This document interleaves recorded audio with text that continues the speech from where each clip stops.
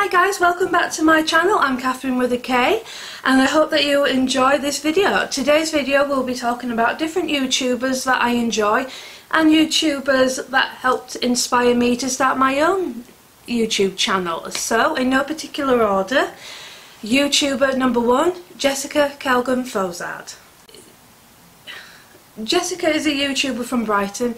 She suffers with a few different chronic illnesses and disabilities. What I like about her is that she's very open and honest about it. She tells through her videos her life in general really about having these different problems and how she copes with them and how she still enjoys her life with the things that she can do along with her wife Claudia and their two beautiful dogs, Walter and Tilly. So a lot of fluffy cuteness is going on there.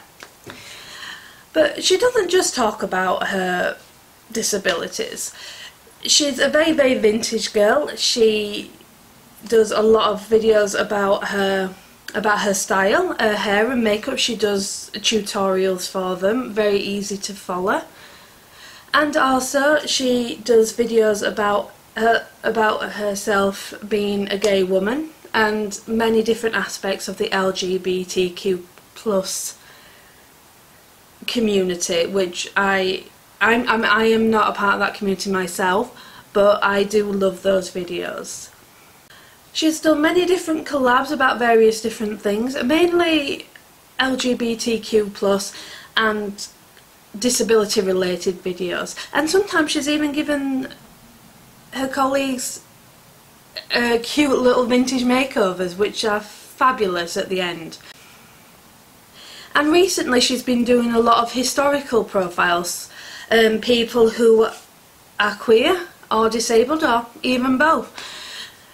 She's very very entertaining and very factual so you do learn a lot about things that maybe you didn't know before about certain people or even people that you didn't realise were gay. So she's so fun to watch. I actually found her channel by accident. What had happened was I was doing a BSL course, which if you're not familiar with means British Sign Language.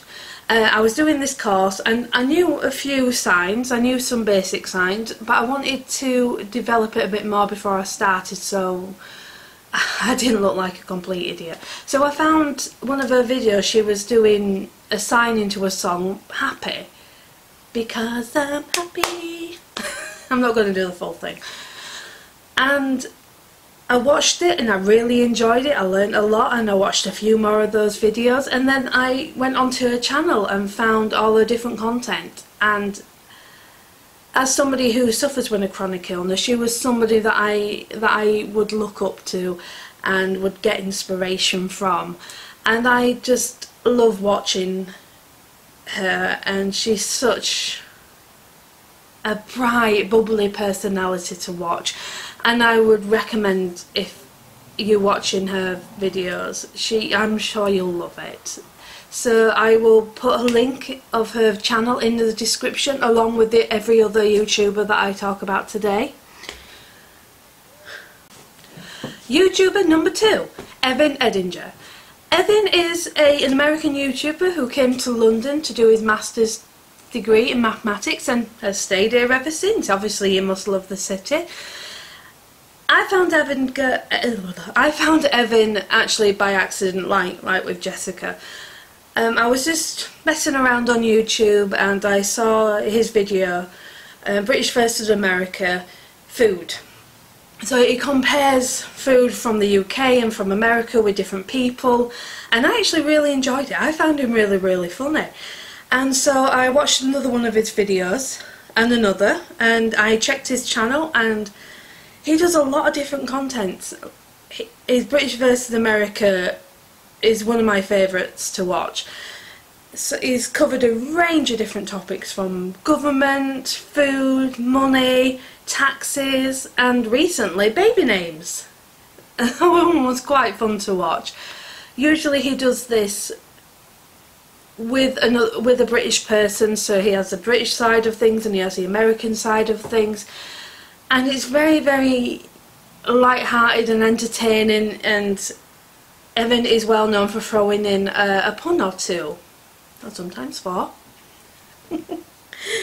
he does a lot of different series. Another one of his is Spill the Tea, which is just usually it's him with somebody else, or sometimes on his own. They'll have a cup of tea. They'll just chat about. Also, Evan does have a, another channel, um, a travel channel. He has been to so many different places. I've actually lost count of the amount of countries he's been to. But he, but in these vlogs, he talks about what he does, all the different sites that he's seen, all the activities that he does. Also, he does a lot of YouTube conventions. He's been to VidCon in LA, he's been to Playlist Live in Florida, and Summer in the City in the UK. And he vlogs all this, and he you can just tell that he has so much fun with it and with his friends. But Evan, like Jessica, does sometimes talk about things that are quite difficult. He talks very openly about his own mental health and how sometimes, some days he has bad days with it. And like anybody like myself who does suffer with their mental health can certainly empathise with him. And it's it's so nice to actually see somebody talking to thousands and thousands of people about things that sometimes carry a stigma with them and it's very very brave of him and I really do hope that more people follow suit and I will certainly be doing videos about my mental health and my struggles with that in the future.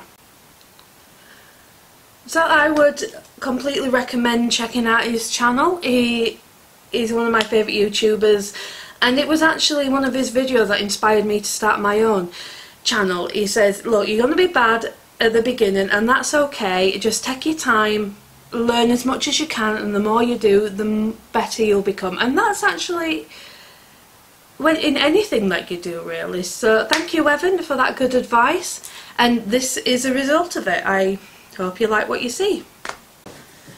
YouTuber or YouTubers number three, Chris and Eve.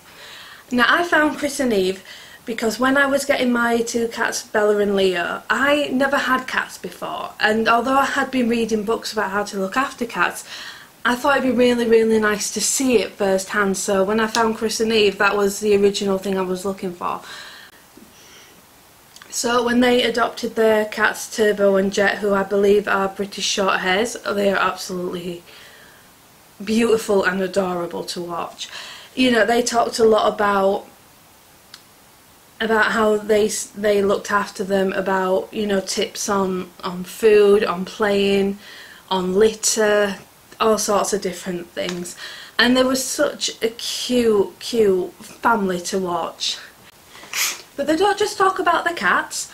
They are how I would describe as life vloggers. They just vlog their everyday lives you know, when they go on holiday to different meals that they're trying because Eve is vegan, so different vegan meals, um, home improvements, and recently, well, not recently, last September in 2019, they had a beautiful, beautiful baby girl, Rose. So now they talk about parenthood and what it's like to have their first baby. Which is nice because there'll be a lot of new time parents that can look at their channel and their videos with little Rose and you know just see that they're you know they're not the only ones dealing with a new baby. They can get tips from them.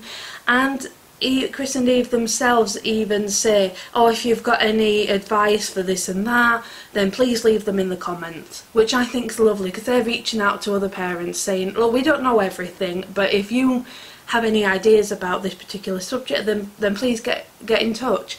And other people can read them comments as well. And it's it's this nice little community that they've built up, which I think is absolutely lovely.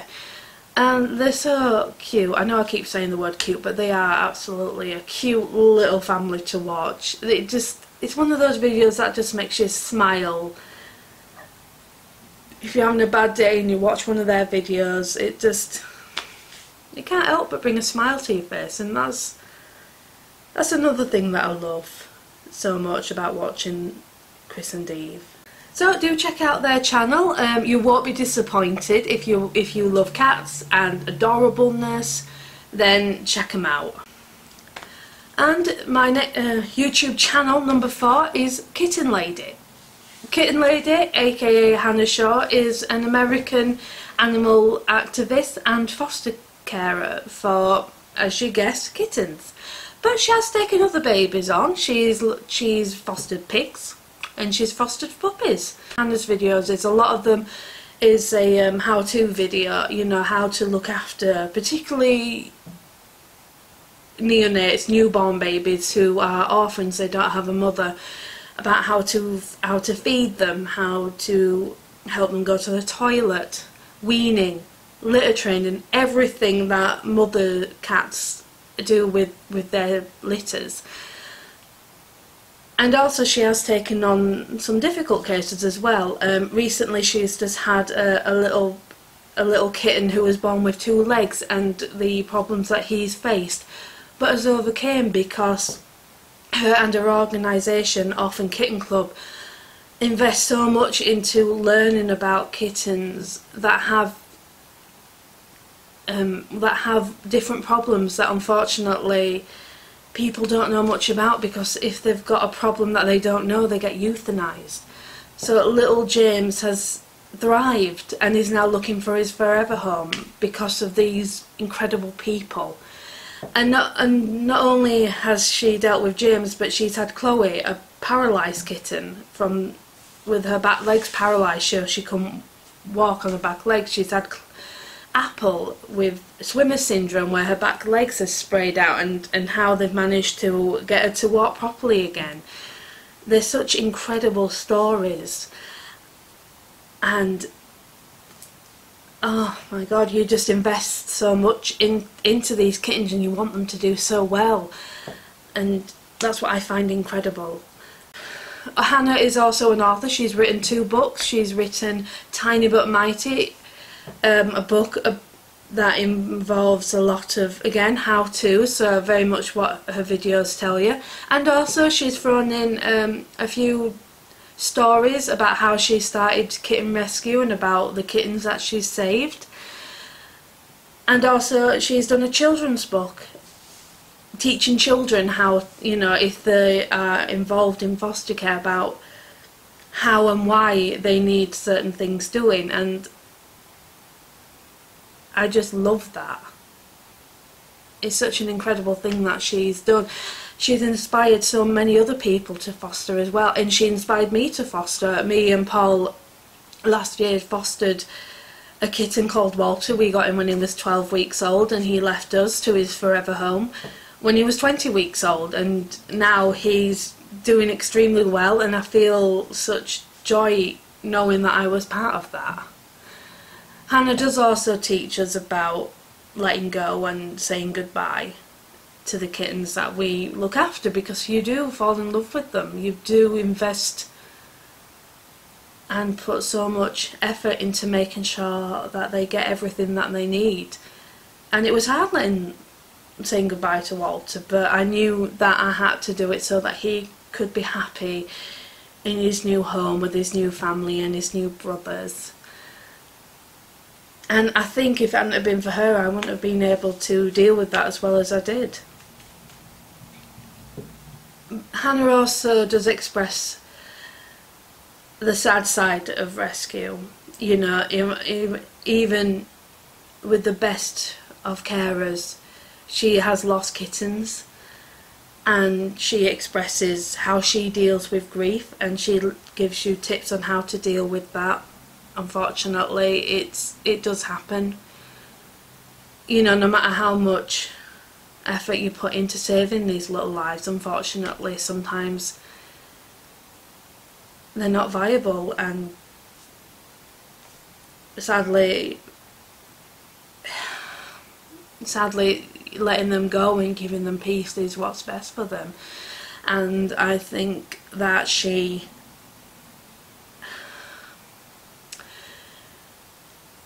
that she's a very, very brave individual for sharing that with us and to help us deal with our own grief when when we do look after these vulnerable, vulnerable babies. I really hope you check Hannah's channel out. if you are an animal lover or if you are a foster carer or if you're thinking of fostering cats or any other animals, then you will learn a lot from Hannah. She's an incredible human being and I think that you will love her channel just as much as I do. Well, I hope that you've enjoyed this video today. I will be leaving all the links to the YouTubers I've mentioned today in the description below.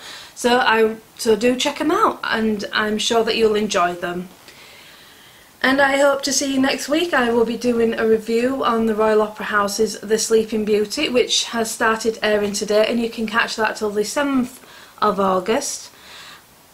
I do recommend that it, it is is a beautiful, beautiful ballet, and I can't wait to share it with you. So, I'll see you next week. Bye!